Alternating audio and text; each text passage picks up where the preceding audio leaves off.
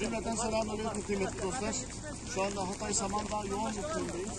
Depremden etkilenen bir köy. Ee, Beykoz Batum Havalisi Derneği tarafından e, engelli bir ailemize hediye edilen kontrol inşallah biraz sonra teslim edeceğiz. Mevlam hayırlarını... Ömer abi Allah razı olsun. Çok teşekkür